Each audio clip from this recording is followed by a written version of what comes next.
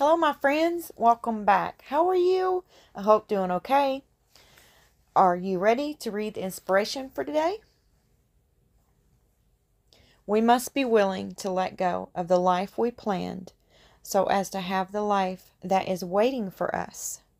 And that's by Joseph Campbell. Okay, let's cruise on over and see what I'm up to today. I have a plate here, and I could not give up on that ghost, you guys. Uh, I made some of those last year, and I sold them in my booth, but I was doing a, something wrong with them, and it just kept bothering me. I had to get these ghosts right, you guys. And I still am not quite there yet, but I'm definitely doing a lot better than I was. So I'm going to take this Glad press seal, which I won't be using again, but it did the job. It did, but I just wasn't able to get it out from under the ghost when I, you know, when he cured. And you're supposed to be able to get it out after the ghost cures. So I guess I need to go pick me up some of the Glad cling wrap because I've been watching some videos and you're supposed to use, make sure that it's uh, Glad, that name brand, and it, um, it, it needs to be cling wrap. But I thought I was really doing, you know, good by choosing this right here. I thought, well, surely, you know, if you got to have cling wrap, then this will be, you know, really good. But no. And this was a bad idea by clipping the clips on the plate, so I end up taking them off because what it did was um, it wouldn't let the the paper lay down flat like I needed it to. And the reason we're using this plate is because the plate comes up a little bit on the sides. And that's how we need to make our ghost. And this plate holds about three ounces of resin because it's about a eight or nine inch plate. And that's what, you know, you're supposed to use on the ghost. So that was another mistake I was making. I was using a mold. And I was also making this mistake. I wasn't putting a barrier around my ghost. I was laying the I was letting the ghost pouring the ghost out and then putting you know, crushed glass on the ends of them. And that's not how you do it. You go ahead and form your barrier like I'm doing right now. Which I'm going to change these beads because they're they're flying everywhere. And this is not going to work. We're going to have to take these off. I thought they would really be cute because I seen uh, some other people doing beads on theirs. But their beads, I believe, were a little bit bigger than these. So I went ahead and tossed those beads and we're going to go ahead and use this crushed glass right here. And I'm just going to sprinkle it around and then I'm going to scoot it all the way back and form a circle with it. And that's going to be the barrier for our ghost. I did learn that three ounces does seem to be the best amount to make these ghosts. Of course, you could always use more, and uh, make your ghost longer, you know, have, have like the dripping effect. I did see some really beautiful ghosts made like that. Uh, but the trick to these ghosts is picking the ghost up off of the paper at the right time. And that is uh, one of the hardest things that ha it has been for me, you know, one of the hardest things because you know, I could uh, get busy doing something else and I go back there to check it and it's not, it hasn't been sitting there long enough. And then I go back there and oh no, it's been sitting there too long. And now I have to start all the way over, you know, so getting it down to figuring out the kind of epoxy that you're using and, you know, just the right amount of time that you need to give your ghost before, you know, it you have to get it at the right time. It can't be too soon because then your resin's just going to drip. You know, and it can't be too late because then your resin's not going to lay down and form those nice um, little folds in the ghost that, you know, seem to come natural to a ghost. So, it's kind of tricky and kind of hard to get that part down, but once you do, you know, you're you're ready to make tons of ghost. okay, now I'm going to choose my Roxy Epoxy um, Glow Powder, and we're going to use the blue-green, and I'm going to put a little bit of that glow powder in here to see if we can get this ghost to glow a little bit. And I'm going to add it to the white and not the black. And now I'm just dividing my resin into two cups because this ghost is going to be black and white. And my cup over there that looks like it has black in it, it does not. I reuse these cups, so this is clear resin going inside of them and there's nothing else in it at the moment. Okay, I'm going to grab my Pearl Ex um, Micro Pearl and I made this one out of pigment paste and I have not shared that with you all yet because I'm not sure how I'm liking it so far. I did add some pigment paste to some of my um, mica powders and you how you make it is with your part A or part B of your leftover resin. You know how sometimes we have resin left over out of one of our bottles. It doesn't matter if it's part A or part B. You can use either one, just don't use both because then you'll have a big old mess. so I did use um, some of mine and I mixed up some pigment paste out of some of my mica powders and I'm just not sure how I'm liking it right now. I don't know if I didn't put enough in my black because my black is not as black as it used to be. So I don't know if I need to add a little bit more to it or not. Um, so yeah, I'm still um, I'm still working on it, y'all. I don't know if I'm liking it or not. okay, I'm stirring up that micro pearl in my resin now.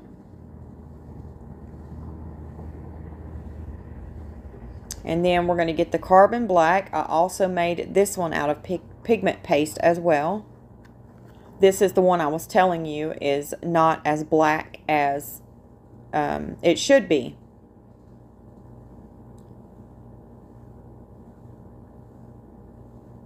So I'm going to go ahead and stir that up.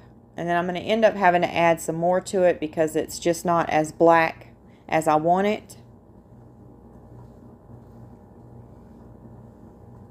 Now I do like the fact of um, not having to stir up mica powder in my resin. You know, that's why I, I put some of the resin in some of my mica powder so that I wouldn't have to deal with that. But I just don't know how I'm liking it. You know, my colors are off. So, I don't know. I guess I didn't put enough powders in them. Or maybe I put too much resin in them. It's one of the two. okay, I'm going to go ahead and spray a little bit of alcohol down here.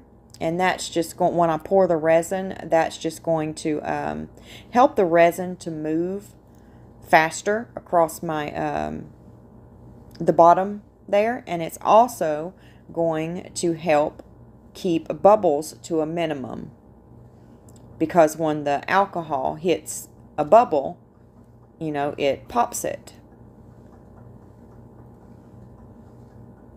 And I use 91% uh, alcohol.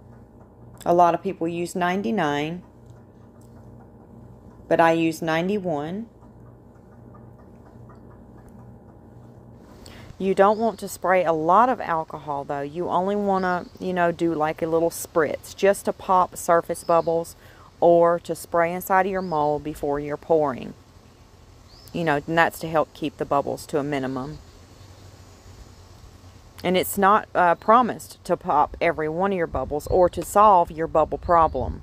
you know, because there's nothing that's going to so solve your bubble problem except for maybe a pressure pot. And really, that doesn't solve it. All that does is make it so tiny, you know, that to the naked eye we can't see it. But if you use a good quality resin, you know, and, and you pay attention to how you're stirring and how you're pouring and different things like that, you won't deal with a lot of bubbles. I use Let's Resin Epoxy. I use Jdiction Epoxy. I use Super Clear Art Epoxy.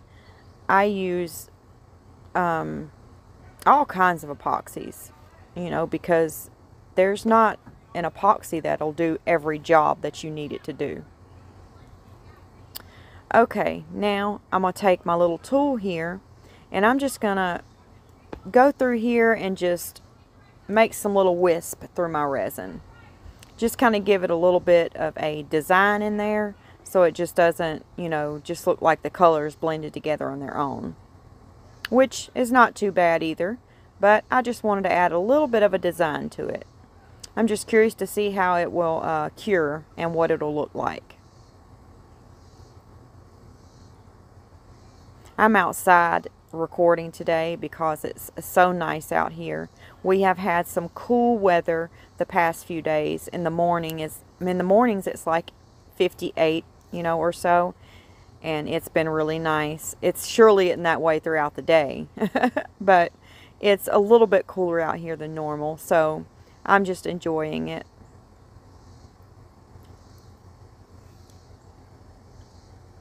My neighbors are doing some construction over there and you can kind of hear one of them holler to the other one. so I apologize for that if y'all can hear that. If you can hear it, it's it's not loud. but you may be able to hear a little something.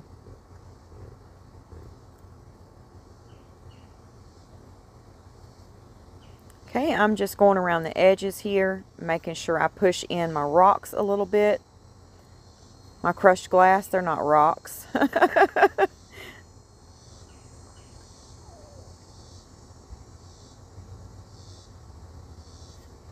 you can also hear the locust outside.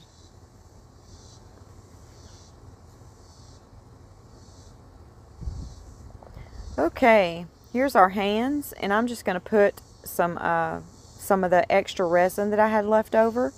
We're going to go ahead and add it to them.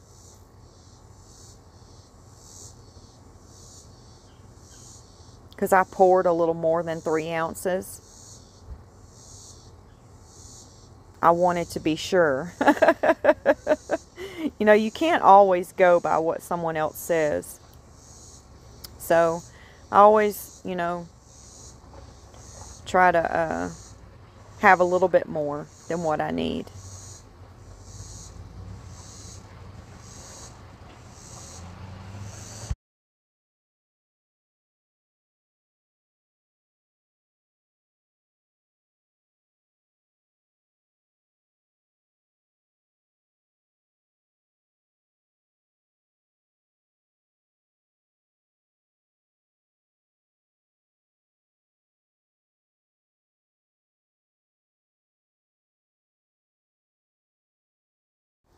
Won't be long before we have these hands full.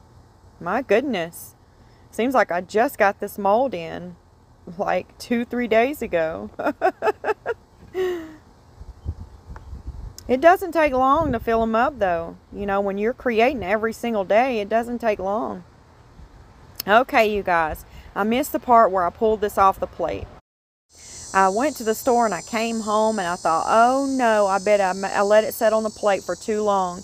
So I hurried up and snatched it off the plate and threw it on my little uh, thing right here before I hit record. so I'm sorry about that. But it looks like it's going to go ahead and form. It looks really good. So I'm going to set it over to the side and let it do its thing. And I thought we would try to make a trick-or-treat bag for our ghost. So I finally got these in from Temu. And they're 3D uh, UV resins, you're supposed to be able to draw with them and them hold their form before you cure them. And the orange did work, the purple worked, the black worked, but there were a bunch in there that didn't. See, like this one will not come out. It's almost like they half cured, half baked inside of there. I don't know. But I got my money back for them yesterday because, you know, I can't even use half of the box. I don't know what the deal is with them. I think I might try to buy them again before I go ahead and mark them off as, you know, a don't buy because they were working really good. Now, I can't draw worth a flip, you guys. So, these bags look hilarious. so, I don't know if we'll be using them. I'm going to try to take my drill here and see if I can try to uh, help them out a little bit. they look terrible. I doubt we're going to be using these. I just don't know what I'm going to use for a little trick-or-treat bag for our ghost. All I know is I want my ghost to have a trick-or-treat bag. And I want my ghost to have a hat on. And I want my ghost to have spiders hanging off of its hat. Those are three things that I know. Now, how to execute those things is a different story. so, I'm going to have to probably think of a different idea because I don't think this is going to work. These look awful. I'm trying to help them out a little bit. Here they are. These are the ones that I I got to work. But, man, I can't draw. Don't they look terrible, y'all? I, I can take it, y'all. It's okay. You can be honest. And I'm going to take those mouths off of them because they do look scary. I don't like the mouths that I put on them. One of my subscribers said they looked creepy, and you are right. They do. The more I looked at them, I said, I, can't, I got to take those things off. They look scary, and I don't like scary things.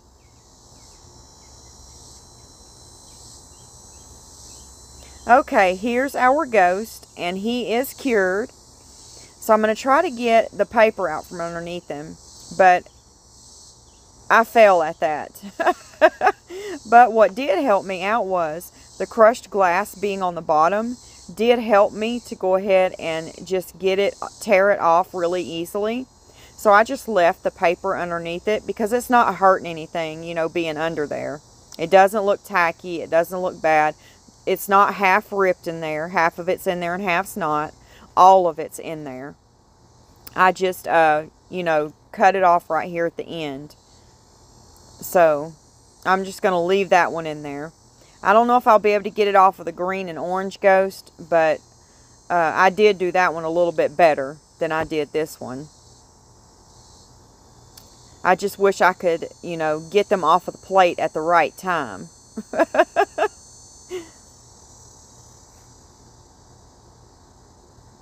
But the folds in this one looks a lot better. I didn't have to put any clamps on it or anything. It just put those folds in there naturally itself when I set it on top of my little uh, my little thing that I fixed up. And we're going to toss these. I'm not going to use them because they I just I don't like them. And maybe it's because I made them. I don't know.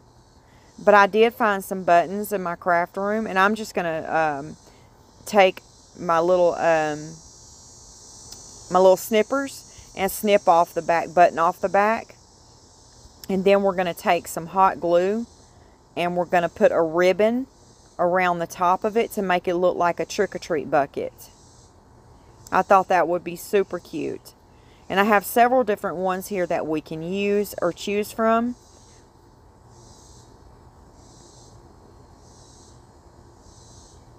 See the back there? I'm just going to snip that part of that button right off. And now I'm going to take some ribbon. And I think we might use this one for my green and orange ghost. Which I'll have to finish and show you guys later because we're working on the black and white ghost now. The green and orange one hasn't cured yet. It's still forming. But I did put um, glow powder in the green and orange one too. Okay, I got these hats from the Dollar Tree. And they looked terrible, you guys. You can see the glue on them. They just weren't put together well, but hey, they were a dollar twenty-five. So we're going to go ahead and we're going to make these hats look like they came from Hobby Lobby or Michael's. I'm going to put some Mod Podge on the uh, hat right here. And I'm going to go ahead and put it all around the hat. Then, see it? It's all around the hat. Now I'm going to drop some glitter on top of that Mod Podge. Make sure I get it covering all of the Mod Podge.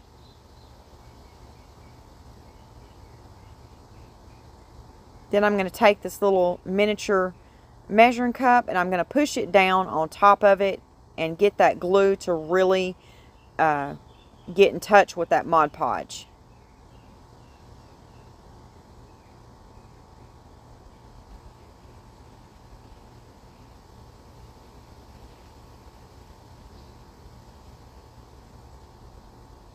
And now let's uh, just dust the excess glitter off. And then we'll go back. Well, I'm going to let this dry. Isn't that beautiful? And then we'll go back over that glitter with um, some Aleene's glue to lock that glitter in. Here's the green one. And then here's the orange one. And I'm going to speed this up a little bit so that we can uh, go ahead and move past this pretty quickly. And I'm just prepping the hats for my other ghost. And I'm going to push that glitter down into that Mod Podge. Dust the excess off and then lay it over here to dry.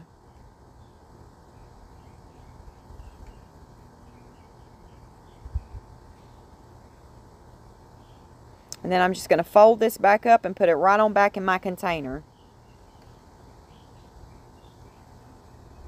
Okay, let's go ahead and fix up some more of our trick-or-treat buckets.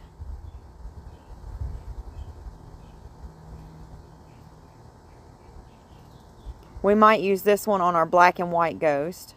I'm trying to decide on which trick-or-treat bucket I want uh, her to have. Because she's a girl. Isn't that cute? Look at that. Yes, we're going to give her this trick-or-treat bucket. I think it looks cute on her. Let's go ahead and add some of this hot glue.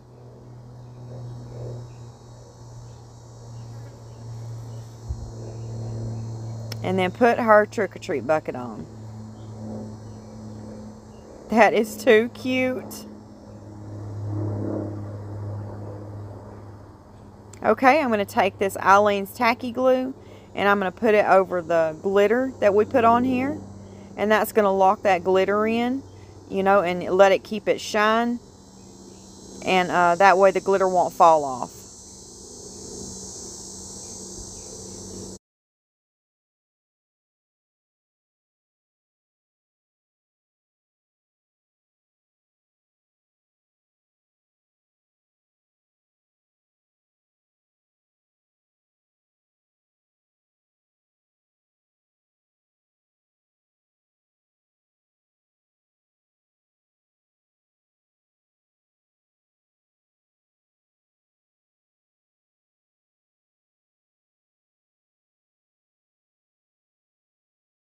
Okay, we're almost done with this and I'm going to let it lay it over there in front of the fan and let it dry and then we'll go to the next step on the hat. But we're going to fix this hat right on up, y'all. We're going to make it so cute.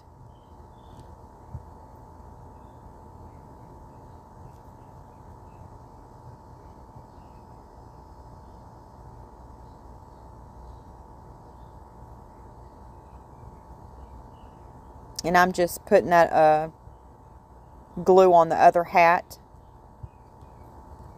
I'm not sure which color I want to use for our ghost yet. I don't know if I want to use the purple and black or the green and black for her. I wish I would have found a white and black hat, but I couldn't find one of those. I looked and I tried, but I couldn't find one.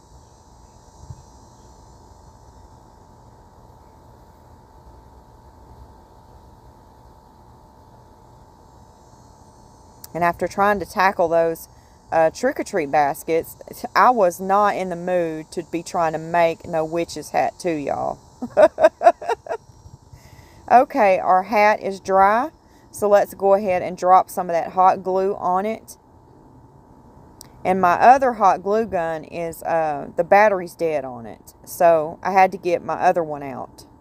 And I don't like this one as well because it doesn't seem like, uh, it just doesn't seem like it works as good. I don't know.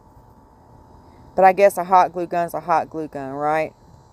it gets the job done. So I'm not going to gripe. I thank God I have it.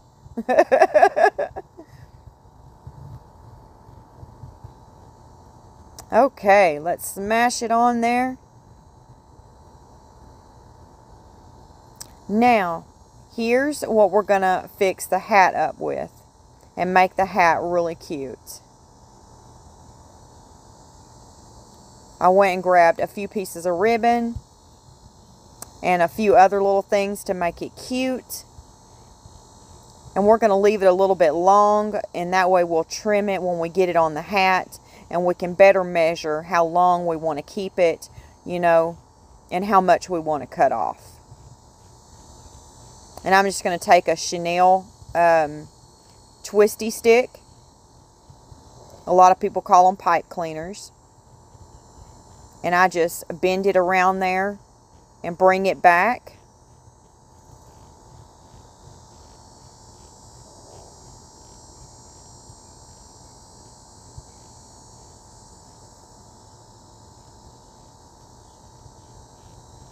And I'm just trying to bend it around it. And then I'll twist it in the back really tight.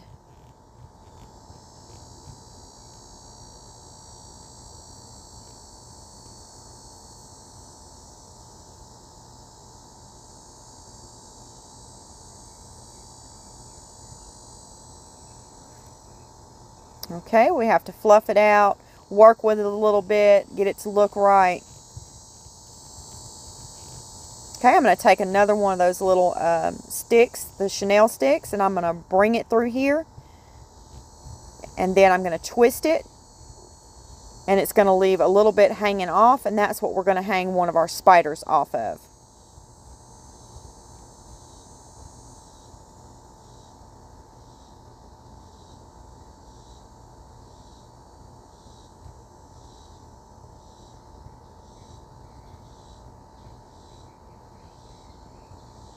Okay, I'm just getting that uh, that uh, real prickly piece under there, wrapped underneath there so it doesn't um, hurt anyone.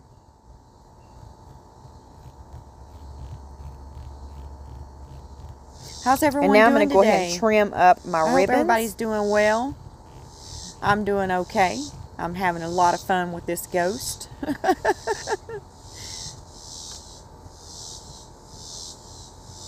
I tell you, these things sold really good for me last year, and they looked horrible compared to this right here. So hopefully, I will uh, sell these too.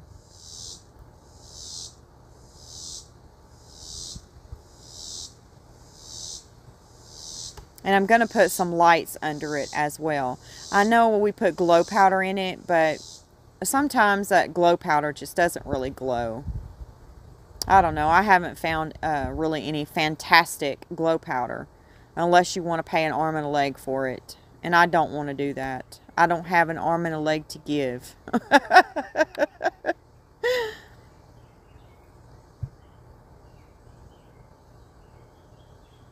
I put some cute Halloween ribbon in there too with some little ghost on it and they're uh, they have glitter in them. They're so cute. I'm going to take that ribbon and fold it over and cut it and then it's going to make it real cute like that. I'm going to trim it a little off, fold it over and cut it and then it leaves it really cute looking on the edges. Now let's put our little spider on over here. I tell you, it ends up falling right off of there after I started uh, fluffing the ribbon out again. So I ended up having to take some UV resin and uh, put it on there and cure it. And that seemed to do the trick. Now I'm going to add a spider to this ribbon down here. And then here I am curing all the spiders up. I put three on there hanging from the ribbon. Can y'all see them? They look so cute. We are finished, you guys. What do you think about this ghost? I think it is super cute. So cute.